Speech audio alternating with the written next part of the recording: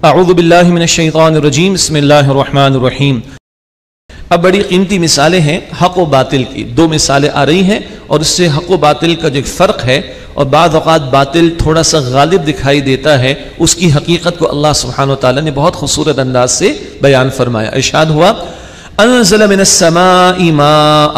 अल्लाह ने आसमान से बारिश बरसाई। फसालत अवदियत मकदरिहा। तो नदी नाले अपने अपने अंदाज से बह निकले। नाले से मुराद, ये हमारे गंदे नाले नहीं, वो बरसाती नाले जिन्हें कहते हैं कि जिसमें बारिश के मौसम में पानी आता है।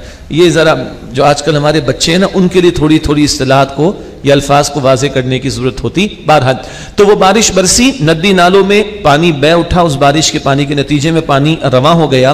फ़ाह तमन सईद जबदा राबिया, फिर उठा लाया, नाला फूला हुआ झाग। वो जो पानी बह रहा है, पानी तो बह रहा है, लेकिन ऊपर क्या नज़र आ रहा है? झाग। कुछ कचरा भी उसमें होता है जो मिक्स हो जाता है तो ऊपर झाग दिखाई देता है, नीचे पानी।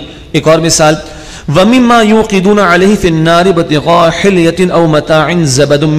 और जो कुछ वो आग में तपाते हैं, जेवर बनाने के लिए या और सामान तैयार करने के लिए उसमें भी इसी तरह का झाग होता है।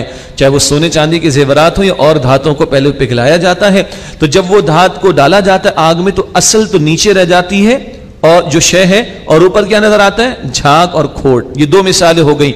ऊपर झाग नज़र आ रहा है, पानी नीचे है। ऊपर जो है, वो खोट नज़र आ रही, झाग नज़र आ रहा है, असल धात नीचे है। अल्लाह फरमा रहा है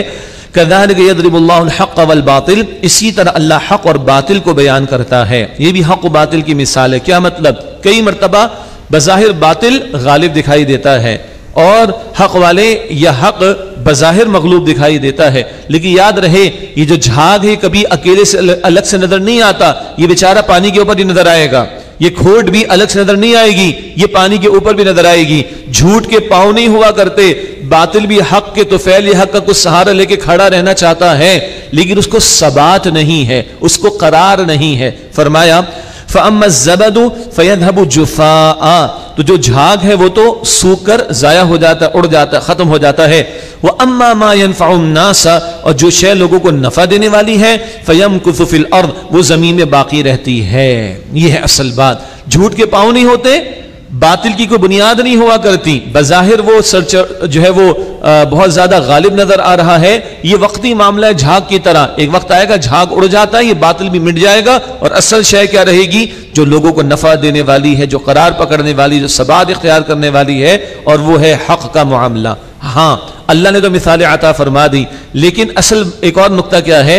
ये हक वाले अपने हक पर होने का सबूत तो पेश करें। हक वाले डटे तो सही, जमे तो सही, इस्तेकामत का मुजाहरा तो करें। जब ये हक वाले इस्तेकामत का मुजाहरा करेंगे, अपना तन, मन, धन लगाने को तैयार हो जाएँगे, जैसे कि तीन सौ तेरह बदर में खड़े हो गए थे तो अल्लाह की मदद भी आएगी और बातिल को अल्लाह नाबूद भी कर देगा और उस दिन को फुरकान भी अल्लाह ताला करार दे देगा। यह है असल नुकता। तो हमें तरकीब क्या दिलाएगी? परेशान ना होना। बातिल के जरा से गलबे को देखकर परेशान ना होना, ये झूठ के जैसे पाओ नहीं, बातिल को करार नहीं। तुम अगर हक पर डटे रहे तो बिल आखिर ये बातिल मिटेगा, खत्म होगा। और वो शान सुर बनी इसराइल आए तंबर 81 में, जाल हक वजहक अल बातिल इन बातिल काना जहू का हक आ गया और बातिल मिट गया। बेशक बातिल है ही मिटने के लिए। वह अम्मा फ़यम कुफिल और जो चीज़ लोगों को नफ़ा पहुँचाने वाली वो ज़मीन में बाकी रहती है। कदार यदरबुल्लामसाल इसी तरह अल्लाह सुबहान तला मिसालें बयान फरमाता है।